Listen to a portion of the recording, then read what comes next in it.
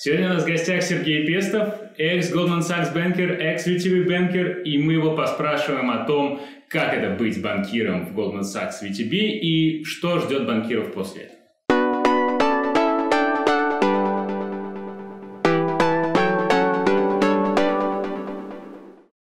Спасибо, что пришел, Сергей. Да, спасибо, что пригласил, меня. Первый вопрос, который хотел бы задать. Расскажи, пожалуйста, есть ли какой-то идеальный кандидат в э, Goldman Sachs, ВТБ? Как он выглядит? Да, кандидат есть такой. Э, идеальный – это, наверное, человек с э, фундаментальным образованием. Э, первый, это бакалавриат, это, например, э, э физфак, Мехмат МГУ. И э, релевантный опыт в инвестиционных бутиках международных, например, Ротшильд. Ну, я знаю, что в России офис закрылся, но, например, там, стажировка в Европе в Ротшильд или в каком-нибудь а, локальном инвестиционном банке крупном, например, ВТБ, Сбербанк. А, однако такого кандидата не существует чаще всего. И поэтому мы рассмотрим а, ситуации, которые наиболее приближены к реальности. Очень хорошо будет, если кандидат учился на фундаментальном бакалавриате и вместе с этим прошел финансы в магистратуре. Это, например, да, ВШ, mm-hmm. Высшая школа экономики, РЭШ, mm-hmm. или же опять э, западная магистратура, это вот Баконье, UCL, Варвик, ну или опять же какие-то топовые западные магистратуры, как Оксфорд, Кембридж и так далее. С точки, с точки зрения образования также подойдет неплохо человек, который закончил ВШ или совместный бакалавриат ВШ РЭШ, этого вполне достаточно. Mm-hmm. Также неплохо, например, если человек учился на канамфаке МГУ или МГИМО. А что касается опыта, вот людям с опыта есть дорога вообще в Goldman Sachs и другие банки? А, конечно, если этот опыт был приобретен в, во время обучения, то есть во время mm-hmm. бакалавриата или магистратуры, mm-hmm. в таком случае mm-hmm. это будет огромный плюс, и даже в случае, если вуз а, оказался mm-hmm. не топовым, mm-hmm. то релевантный опыт зачастую оценивается банками там, более, как более значимый фактор при рассмотрении там, заявок кандидатов. Расскажи о релевантном опыте, какой он? Да, наиболее релевантный опыт, как обсудили уже, это будет международный бутик uh-huh. или локальные инвестиционные банки. Это ВТБ, Сбер, Ренессанс. Что еще? Чуть более, наверное, настороженно будут относиться к людям, которые прошли стажировку в большой тройке, а, то есть в консалтинге. Окей, опыт – это, например, большая четверка. Но там mm-hmm. нужно понимать, что там релевантными считаются только отделы, которые напрямую связаны с картфином и оценкой. Ну, то есть, на самом деле, чтобы попасть в Goldman Sachs, конечно, нужно иметь хороший опыт и очень такой специфичный. В отличие от консалтинга, куда берут людей, в принципе, с разным опытом, но там с крутыми бренд-неймс компаниями, а, в инвестбанках я слышу, что нужно все-таки еще и релевантный финансовый опыт иметь. Конечно, осложняет дело. А, да, это правда, но опять же подчеркну, если существует, например, топовый да, профайл состоит из а, каких-то сильных достижений помимо работы и топового там, образования, то в таком случае на интервью кандидата в любом случае пригласят, и зачастую такие люди получают оферы. Расскажи, пожалуйста, о своем опыте в Goldman Sachs ВТБ. Э, три вещи, которые тебе понравились там в ВТБ в Goldman Sachs, и три вещи, которые не понравились. Ну, наверное, больше всего а, мне понравилось, мне понравилось, что в Голмане, что в, в, что в ВТБ это наличие очень сильной команды. Mm-hmm. Это люди, у которых очень много, очень многому можно научиться, не только с точки зрения там, финансов или конкретно там, а, индустрии, да, индустриального какого-то опыта внутри уже, соответственно, банкинга, или определенных, там, знаний определенных продуктов, а скорее больше человеческим качеством, таким как умение принимать сложные решения в, mm-hmm. под там, сильным стрессом, mm-hmm. умение сообщать клиентам тяжелые, тяжелые новости или умение вести жесткие переговоры, умение мотивировать команду, умение доказывать свою точку зрения. Вот мне кажется, что в банках из-за того, что команда очень маленькие, ну, скорее всего, понятно, что я имею в виду Балджбрекет банки, там, там набираются экстраординарные люди. Мне кажется, это вообще очень важно, когда ищешь первую работу, да и не только первую, первые работы в целом, иметь очень крутую команду, у, которому есть, у которой есть чему поучиться. Полностью Потому что согласен. э, Полностью стартуешь ты практически ни с чем, и все, что ты наберешь сейчас, там, на своей первой работе до 30, 33, 35 лет, останется с тобой всю твою карьеру. Поэтому это, безусловно. конечно, очень важный Безусловно. фактор, и здорово, что в IB это есть. Безусловно.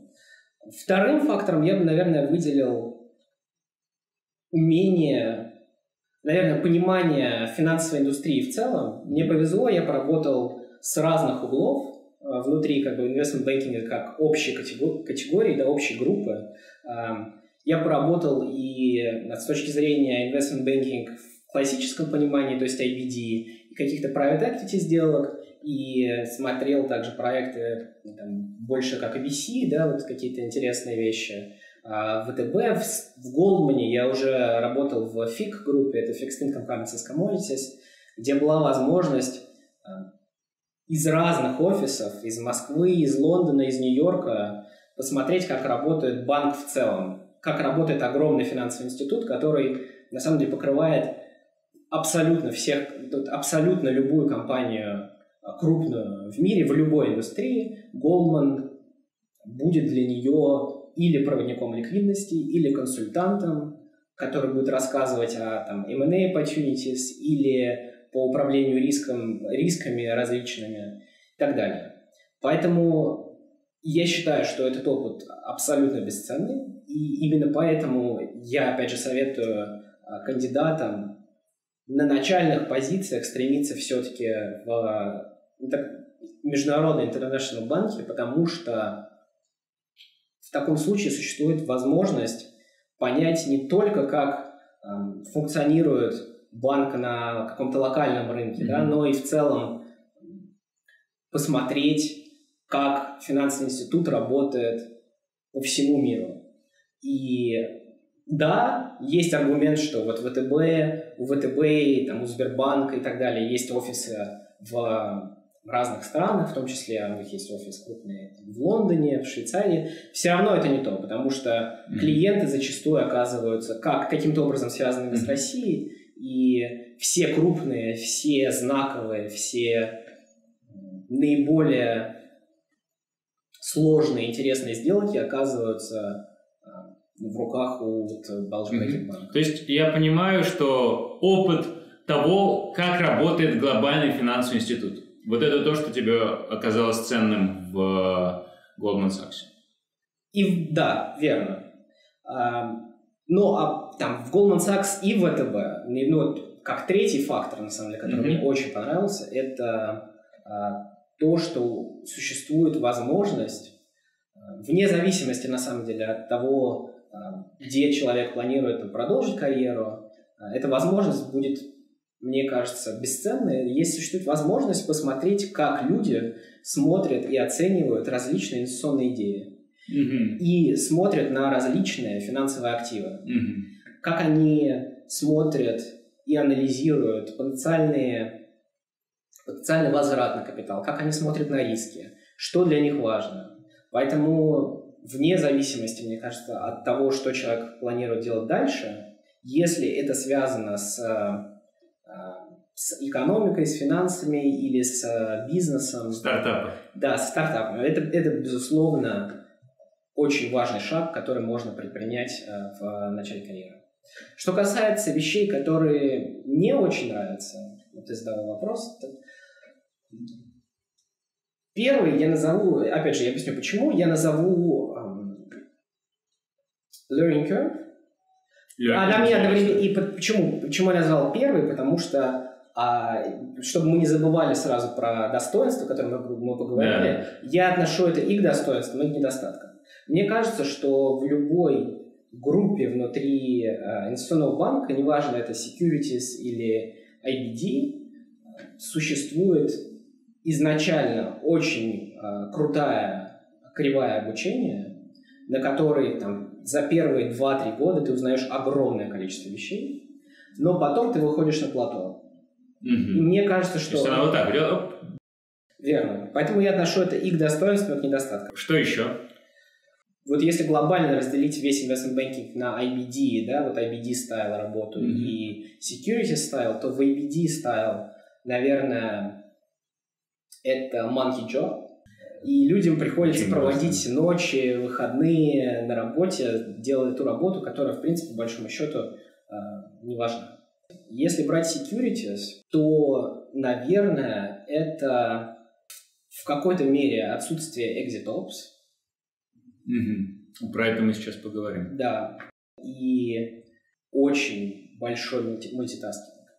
А в security стиль работы предполагает э, параллельное управление огромным количеством проектов, поэтому зачастую, если ты работаешь в sales, в трейдинге, то у людей нет возможности детально углубиться в проект, и когда ты постоянно вынужден перескакивать с одного проекта на другой, ты, безусловно, теряешь в эффективности, и у тебя добавляется стресс и так далее. Мне кажется, что вот это является одним из, недо... одним из самых больших недостатков mm-hmm. работы в, вот, в security направлении. Ну, опять же, все сейчас думают, что про деньги забыли сказать. Деньги — это, безусловно, конечно, достоинство, потому что где еще столько будут платить? Да, это правда. Это правда, что даже работая, например, аналитиком первого или второго года можно зарабатывать суммы, сопоставимые с э, зарплатой CFO какой-нибудь средней нефтяной компании. Угу. Ну, это типа 300-400 тысяч рублей, видимо. Может быть, даже и больше. Ну, побольше. Даже побольше. Окей. Но Юпток вам в помощь. Прочитайте.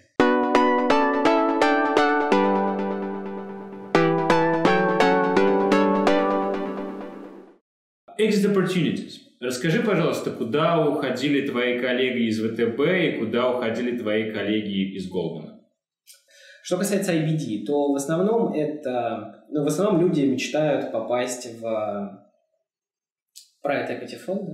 Угу. То же самое России, консультантов. Их в России, как известно... Практически нет? Практически нет. Ну, самое крупное это Беринг или Брус. Поэтому, наверное, мечта человека, который приходит в investment banking, это отработать 2-3 года, получить associate и уйти в private equity. Зачастую зарплата может быть даже и ниже, но работа и проект интереснее, и людям кажется, что это более интересный, релевантный э, опыт, который можно трансформировать в что-то большее на горизонте 10, 15, 20 лет.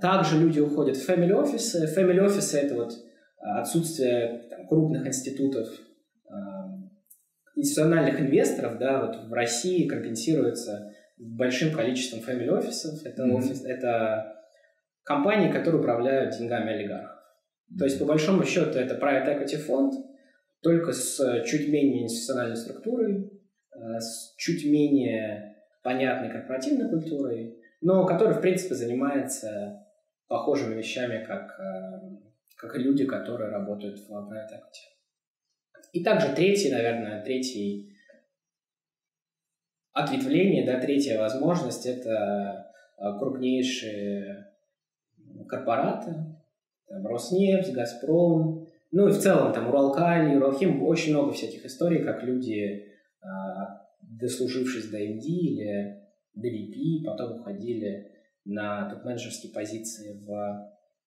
крупнейшие крупнейшие локальные компании. Ну, то есть они идут куда-то на CFO? CFO или человека, который, если это очень крупная компания, то, скорее всего, это человек, который будет заниматься эм, in-house M&A, то есть in-house слиянием, mm-hmm. поглощением каких-то более мелких компаний, или каким-то процессом, наверное, объединения, mm-hmm существующих раз, раз, разрозненных активов.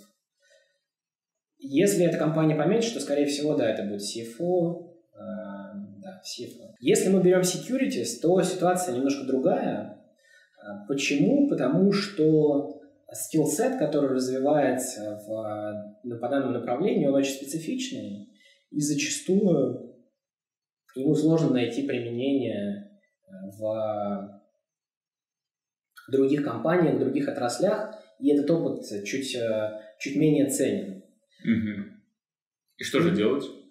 Но люди, на самом деле, просто люди, которые идут в securities, они э, по большому счету понимают, что э, им интересно то, чем они занимаются, и они за ним хотят заниматься этим всю жизнь. Если вы поговорите там с э, человеком, который проработал 5-10 лет в индустрии, там, в индустрии, именно в securities, то эм, на самом деле вот кажется, что человек должен, наверное, испытывать какое-то переживание по поводу того, что он не сможет сменить индустрию, Э, хотя он там в достаточно зрелом возрасте, там дорос до серьезной позиции. На самом деле никто об этом не переживает, потому что у всех позиция такая, что зачем приходить и работать там, где ты заведомо несчастлив, где тебе заведомо не нравится твоя работа, куда ты хочешь идти, лучше мы выберем изначально то, что нам нравится, и поработаем там, всю жизнь.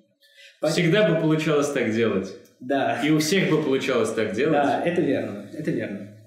Поэтому э, в security с переходами тяжелее. Э, карьеру, наверное, выстраивают просто люди или в одном банке, или переходя в, там, из банка в банк, но в рамках одного и того же направления. Также часть людей, на самом деле, уходит в э, family office. Те, кто mm-hmm. занимался какими-то структурными сделками, как раз с теми же клиентами, да, те, кто занимался финансированием для каких-то M&A, M&A сделок, а, именно family офисов или там привлечение инвестиций, или там помогал им а, как-то управлять рисками на уровне их а, портфеля активов. Вот те люди там, зачастую уходят в family офисы и вот продолжают заниматься приблизительно тем же, чем они занимались. Стракчеринг. Стракчеринг вынесем как группу, которая одной, как где-то посерединке находится, и Exit зависит от э, проектов, на которыми, над которыми вы работаете. Yeah. То есть вы можете с тракшинга работать больше над какими-то IBD и private equity проектами, тогда, соответственно, вы будете там, уходить из банка точно так же, как и люди, которые занимались private equity и IBD. Соответственно, mm-hmm. фиг, если вы занимались больше фиг, то э, это будет относиться как раз к security направлению. В стартапы уходят люди? В стартапы люди уходят, вот, например, э, там, коллеги из ВТБ, несколько коллег у меня ушло, а, кто-то ушел тоже в локальный банк заниматься тем же самым, например, mm-hmm. кто-то сделал свою компанию, а, свой asset management фонд достаточно крупный, привлек больше даже 50 миллионов долларов. Mm-hmm. Кто-то создал свою компанию, вот в где со мной... Я не застал, правда, но человек ушел за несколько лет до меня, он успешно создал свою P2P фандинг платформу в Восточной Европе и продал. Расскажи э, про свои планы. Ты ведь тоже сейчас уходишь. Расскажи, почему. Верно, да. На самом деле я ухожу по той простой причине, что я, приходя в индустрию, уже в глубине души знал, что на самом деле я хочу сделать свой проект. Мне всегда было это очень интересно мне всегда, меня всегда увлекало, увлекали какие-то инвестиционные проекты, инновационные, э, то, как люди собирают экстраординарные команды из абсолютно людей с абсолютно разным скиллсетом, и в итоге на выходе получают коллектив, который впоследствии выстраивает какие-то вещи, которые глобально меняют мир. Сейчас у меня есть на данном моменте, у меня есть несколько, несколько идей, все они на очень начальной стадии. Я хочу протестировать э, один проект в фудтек сфере и один больше связан с э, искусственным интеллектом и виртуальной реальностью. Пока никакой ясности нет, поэтому э, сказать, рассказать по большому счету не о чем. Я в любом случае, на самом деле, планирую поступить, наверное, так же, как как Федор Овчинников, этот создатель Дода, он с самого начала делился всеми своими успехами, неудачами, mm-hmm. ходом мысли и процессом развития проекта. Мне кажется, что эта идея очень классная. Я думаю, что в той или иной мере я попробую ее реализовать. И, и ты блог заведешь? А, да, что-то, а, какой-то какой-то блог а, мы, безусловно, сделаем. О, здорово. И мы сможем тебя читать. А если решишь еще записывать, обращайся. Сколько техники есть. Да, договорились.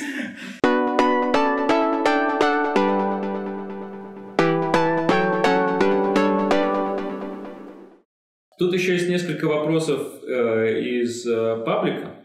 Давай сейчас по ним пройдемся. Да, конечно, давай. Так, как посоветуете начать карьеру в sales, например, FIG? Критичен ли сертификат ФСФР? Как не попасть в колл-центр? На какие вакансии обратить внимание? По частям отвечу. А, самый простой вопрос. Нужен ли ФСФР или нет?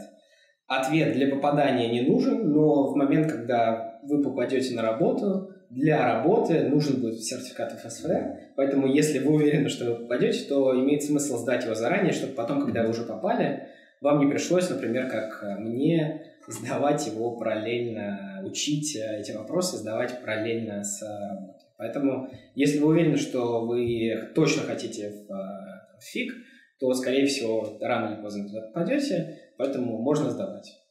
Что касается процесса попадания, Наверное, фиг ценится чуть больше, чем в IBD техническое образование. Но, опять же, это не является основным критерием. Например, я закончил МГИМО, у меня технического образования не, не было, и там, сильная математика или физика у меня были только в, в школе, я учился в школе Комагона. Что касается релевантного опыта, то это скорее уже не Карпфин четвер, большой четверки и не оценка. Это не, наверное, опыт э, консультанта. Это скорее опыт на похожей должности, но в гораздо менее крупном банке. Например, это mm-hmm. может быть э, какой-то локальный коммерческий банк, у которого есть там инвест-направление, и там, в рамках него вы можете попробовать устроиться в департамент, который занимается похожими вещами. Или, а, что как бы будет идеально, это вот вы можете устроиться в Сбер и ВТБ, они набирают, люди в там, Сбер, ВТБ, в фиг-департамент набирают активно, без э, релевантного опыта, поэтому можно попробовать построиться туда, или можно устроиться в international банке, но не Bracket. Например, Raiffeisen, Unicredit, что-то такого. Насколько глубокими должны быть знания по макроэкономике, по финансам и по прочим направлениям? Ну, опять же, это зависит от э, группы, в которую человек подается.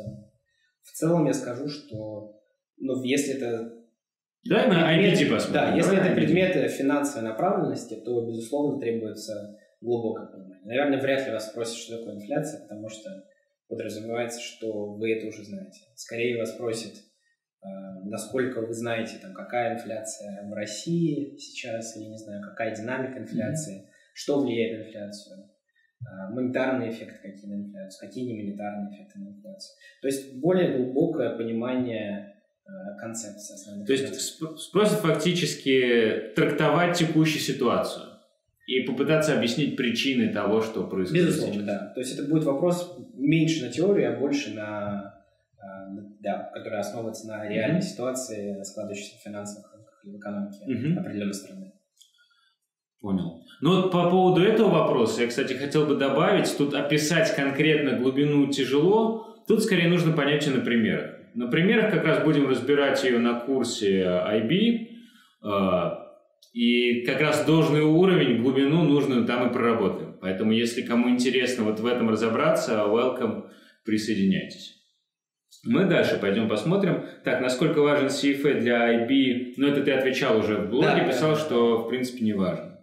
А, какой средний возраст новобранца в IB? Так, ну это мы тоже, в принципе, обсудили, какой бэкграунд. Да. А, что в основном молодые ребята, ну, там, с опытом, например, стажировок, либо иногда после MBA еще берут. Вот. Безусловно, да. MBA – это как один из вариантов для тех, кто не успел попасть после бакалавриата или после магистратуры. MBA является вариантом попасть в индустрию без, кстати, даже без а, потери в годах потому что попадают после MBA сразу на associate. Вот это возвращаясь к спору об MBA, насколько MBA нужен, как показывает практика для IB, казалось бы, что можно получить на MBA для IB? Вроде бы ничего. Но ну, как такая ступенька работает вполне неплохо. Да, да. Учитывая, что вот у меня, э, я где-то год назад говорил с другом, который в Чикаго учится, э, бывший юрист, и сейчас он попал в итоге э, в бутик небольшой в Нью-Йорке, в IB. Мечтал попасть в IB, вот он попал, ему очень сильно помогла бизнес-школа здесь. Удивительно, но вот эти связи, которые там есть, помогли. То есть, насколько я критично отношусь, отношусь к бизнес-школам в целом, здесь я должен признать, что может помочь. Верно, да. На самом деле даже не связи, а именно вот такой формализм. Ну, вот а что, о чем мы обсуждали, вот как один из недостатков, да, все-таки присутствует в индустрии большой формализм, большие какие-то вот uh-huh. регулирования какое-то. На самом деле, опять же, я тоже считаю, что MBA для investment banking, наверное, будет не самым релевантным при проведении да вот. двух лет, да, но оказывается, что вот в банках думают по-другому. Мне сложно вот, понять, почему. Вот это интересно. Вот я тоже самое спрашиваю у других своих друзей-банкиров. И мне все говорят, ну нет, на MBA не пойду, зачем мне это надо? Но при этом после MBA в банк берут очень даже неплохо. Да. То есть, если ты же банкир, тебе нечего делать на MBA. Ну, либо если ты можешь как-то совсем там поменять направление. Да, для того, чтобы но, менять... Э, но если ты не в IB, то, в принципе, помогает. Хотя вот интересный разговор, сейчас немножко отходя от, от темы, я проводил с ребятами, которые в private equity работают, э, в Европе в основном, э, в Лондоне. Но они мне рассказывали, что там мнение об MBA разнится, и сейчас как раз наоборот, внимание к MBA сокращает. Важнее скорее твой опыт. Да, но для, для private equity на самом деле можно понять, почему некоторые компании требуют даже у людей, которые в AB, в ABD работали, Слушай, почему? прохождение MBA, потому что на самом деле в private equity люди, это на самом деле такая, как, как мне кажется, синергия IBD работы, да, и работы консультанта. Так и есть. И у человека, который только работал, например, над какой-то финансовой составляющей и плохо разбирается, как можно подойти к операционным вопросам, вот в этом случае, мне кажется, MBA как раз будет очень полезен. Ну, плюс это зависит, наверное, от направления фонда. Если он больше на operations, то там, конечно, это да, Если он да, больше да. на финансовые всякие трюки и... Да, верно. Эти, типа вот как Blackstone, там, наверное, не сильно нужно. Да, это да. Но ведь даже, самом деле, если посмотреть команду, то там а, это вот корреляция очень сильно прослеживается. Было бы интересно послушать, над какими проектами ты работал в Лондоне и Нью-Йорке, над какими сделками работал в э, Goldman Sachs в Москве. Ну, понятно, насколько это возможно, учитывая всю конфиденциальность. Да, поэтому... Если как-то в общих чертах можно, наверное? Ну, хорошо, да, в общих чертах в Goldman я покрывал э, финансовые институты, частично под финансовый институт я имею в виду крупнейшие локальные банки и страховые компании. Угу. Частично корпоратов. Угу. Соответственно, часть этих компаний, у части этих компаний были какие-то офисы свои в Лондоне или аффилированные компании в Лондоне, которые э, в Европе вели свою деятельность. Поэтому, э, поэтому соответственно, работал в Лондоне зачастую над какими-то проектами, которые, может быть, не столько связаны с Россией, но имеют корни, корни, корни российские. Да. А плюс ко всему, в securities, безусловно, важно понимать, где оседает риск, который банк берет себе на книге. И а, нужно понимать, что у любого bracket банка этот риск оседает не в Москве, а в Лондоне. Потому mm-hmm. что лондонская entity зачастую является контрагентом по большинству сделок. Поэтому в Лондон летал также по каким-то даже локальным сделкам, mm-hmm. для того, чтобы общаться с трейдерами, для того, чтобы внутри проводить какие-то брейнсторминг сессии. Соответственно, mm-hmm. то же самое относится и к Нью-Йорку. А были ли какие-то исключительно US-компании, у которых не было никаких связей с Россией, нет.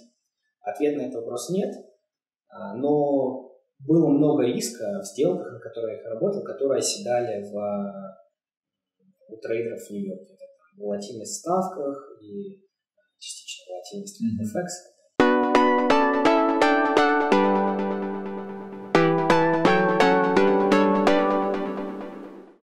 Так, вот вопрос еще по поводу выходцев из Big Four, что если у тебя big, опыт Big Four, э, то ты можешь тоже пройти в IBD, правильно? Мы его обсуждали.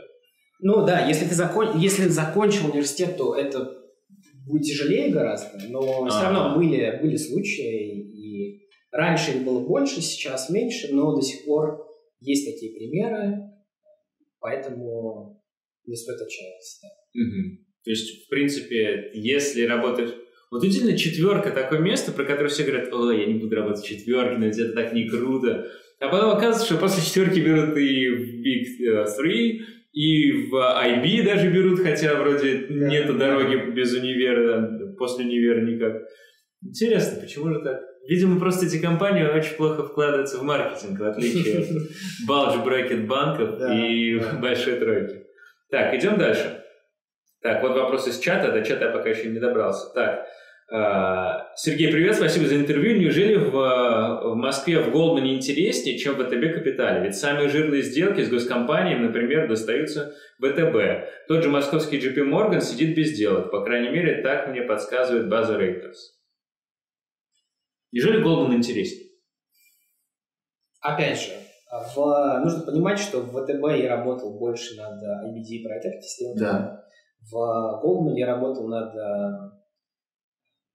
скорее фиг сделками, это там, структурное финансирование, а, какие-то сложные деривативы, которые mm-hmm. помогают упростить транзакции, в том числе и M&A. Отвечая на вопрос, наверное, если делать pure IBD, а, в котором, наверное, мало места для каких-то структурных решений, то, да, безусловно, а, лучше работать в ВТБ. С точки зрения именно вот там, опыта, проектов там, и так далее. Но это не отменяет, опять же, того, что в Голмане есть возможность, в Голмане, как и там, в других, должно быть, банках, есть э, большая возможность мобильности. Например, Очень хорошо. через там, несколько лет после работы в локальном офисе людей не, люди не то что разрешают, а людей, наоборот, Финком отправляют. Ну, даже не заставляют, я бы сказал, да, Финком не отправляет, но это поощряется, если ты уезжаешь на год, например, в Лондон поработать э, в другую абсолютно группу над сделками, которые абсолютно не связаны с Россией. Uh-huh. И я знаю примеры людей, которые уезжали по этой программе мобильности э, в Лондон, кто-то уезжал в Нью-Йорк, и закрывали сумасшедшие сделки, о которых ну, которые в России ни в любой компании они бы не имели возможности закрыть, будь то крупнейший локальный банк или крупнейший менеджмент. Здесь важно добавить еще point про exit opportunities из ВТБ и из Goldman. Если у вас цель работать в международной компании, либо в каком-то крутом э, PE-фонде, то, безусловно, Goldman дает гораздо больше очков вашему профайлу, чем э, ВТБ. Простой пример. Вот э, мне периодически пишут э, рекрутеры, зовут работать всякие private equity фонды разного размера, там где-нибудь в Лондоне. Э, мне, поскольку не очень интересно, я говорю, давайте я вам зареферю людей. Они мне говорят, э, окей, зарефер, но только мы берем ребят там с опытом в тройке и с опытом э, в разных странах. То есть, если у тебя нет опыта в большой тройке в консалтинге, а, а просто опыт в каком-то другом консалтинге, PE-фонды международные на тебя смотреть не будут, к сожалению. Хотя, мне кажется, это не очень справедливо. И опять же, если у тебя нет международного опыта в разных странах, то международные фонды на тебя смотреть не будут. Тогда как если опыт такой есть, и он там вот в тройке, то, в принципе, можно, по крайней мере, скрининг пройдешь, а дальше все в твоих руках. Но это зачастую самое важное. С Goldman Sachs, я думаю, история похожая. Да, абсолютно. Если у тебя есть в резюме строчка Goldman Sachs, и ты работал в таком-то, таком-то, таком-то офисе на там, разных проектах, это гораздо круче смотрится международному рекрутеру, чем вот эта вот э, российская история с ВТБ, что да, э, сделки более жирные, конечно, но они местные. Да. И мы возвращаемся к вопросу, ну, кто насколько любит жир. Да, верно. Но на самом деле нужно все-таки чуть оговориться, потому что были истории, когда люди, например, э, там, доходили до этапа мобильности, да, при этом не закрывая ни одной сделки за время. То есть занимаясь только питчингом. То есть вот это, а, наверное, тоже не самый, не самый, да, не самый оптимальный вариант. Так, смотри, следующий вопрос по поводу лайфстайла. Пишет Диана, Сергей, вы как человек с достаточно большим для вашего возраста опытом знаете об огромном количестве работы в данной индустрии. Да, согласен, кто же не знает. Как при серьезно ограниченном ресурсе времени вам удавалось и удавалось ли следить за собственным здоровьем? Что вы можете посоветовать по этому поводу? А, с точки зрения... Ну, на самом деле, это вопрос, который вот а, перекликается очень сильно с а, темой управления стрессом. Опять же, наверное, если быть капитаном абсолютно, то для здоровья, так, как для здоровья, так и для стресса, там, три вещи наиболее важны. Первое, и они именно вот в той, в той, э, в том порядке идут. Первое – это сон. Второе – это спорт. И третье – это, наверное, питание. А, но про это все знают, поэтому это оставим, даже обсуждать это не будем. Что mm-hmm. еще, что еще интересное есть? Я несколько лет подряд уже практически каждый день, стараюсь каждый день, но бывают исключения, а, занимаюсь 20-30 минут медитации и Ух считаю, что это одна из наиболее каких-то важных привычек, которые я развил в себе за последние там, 5-7 лет. Второе, наверное, это умение смотреть правде в глаза, это на самом деле очень важно. Я просто объясню, что я под этим подразумеваю. Мне казалось всегда, что до момента, когда я пришел в Goldman, мне всегда казалось, что я очень хорошо справляюсь со стрессом. Mm-hmm. И действительно, когда ты подразумеваешь под стрессом не ту оценку поставили в универе. Да, или там ситуацию, когда MD на тебя рассчитывает, что ты сделаешь идеальную какую-нибудь презентацию, или ты там, ага, сделаешь ага. идеальный термшит, ага. который он потом отнесет клиенту, это одно. Потому что в любом случае ты знаешь, что за тобой проверит человек, и все-таки, как оказывается потом, это все-таки риск не самый тяжелый, который можно нести. В, как бы вот в Goldman в Securities существует риск каждые, например, каждые 5-10 минут у тебя там приходят какие-то клиенты, которые, с которыми ты должен э, делать флоу, и каждые 5-10 минут существует риск потерять для банка огромные суммы денег. Под огромными я имею в виду, э, вот если ты что-то сделал не так, ты можешь потерять там, в лучшем случае 20 тысяч долларов, в худшем случае были ситуации, когда люди из-за каких-то ошибок в том числе там, забывали, какая документация подписана с клиентом, там, выбирали не тот, не тот э, discounting и так далее. Теряли по несколько миллионов долларов. То есть это деньги, которые Ничего так люди понятно. зарабатывают в течение 7-8 лет. Это стоимость проекта в консалтинге, да, целых, и... там, где целая команда работает, ты взял так за 10 минут и слил пару да, миллионов да, долларов. Да, да, да. И поэтому да. очень важно сказать себе правду, что да, мне страшно, и постепенно с этим страхом учиться работать. Потому что есть люди, которые делают вид, что и себя обманывают тем, что ты пытаешься как-то вот там, перебороть или наоборот уходишь от этого страха. На самом деле нужно его признать, нужно в себе его ощущать и учиться с ним постепенно, э, как бы постепенно жить. Вот, наверное, так. Потому что именно уйти, техники, которые помогают уйти от страха, там это всякие НЛП и так далее, они на самом деле помогают избавиться от рационального, от рационального корня в самом стрессе, но с точки зрения эмоциональной, с точки зрения бессознательного, они оказываются абсолютно неэффективны. Mm-hmm. Ну да, я думаю, что человек, который проработал в ВТБ, в Голмане, уже все эти темы хорошо испытал на себе. Ну да, я да, какой-то период э, занимался этим. Ну, кстати, если вот из каких-то действенных еще простых методик можно попробовать EFT.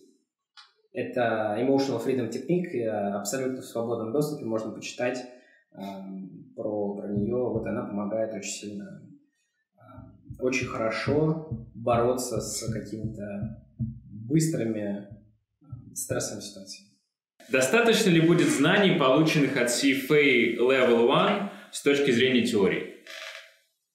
Абсолютно недостаточно. Недостаточно? Нет, абсолютно недостаточно. CFA Level 1 покрывает что касательно Карфина, что касательно securities, абсолютно самый минимум. То есть это вопросы, которые на интервью вас даже никто не спросит, потому что все будут подразумевать, что вы это идеально понимаете, идеально знаете, mm-hmm. поэтому CFA как источник для подготовки mm-hmm. ну, является абсолютно бескудышным.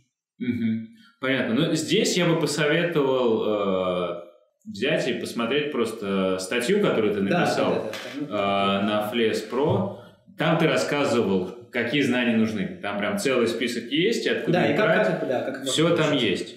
Плюс второй способ – это, опять же, тот же курс, который мы сейчас организуем, и где все эти знания в сжатой форме с кучей практики э, ты людям и дашь. Так, ну что, вот мы уже практически все закончили. Сергей, спасибо тебе большое. Мне было очень интересно с тобой говорить. Я надеюсь, что ребятам посмотреть тоже было очень интересно.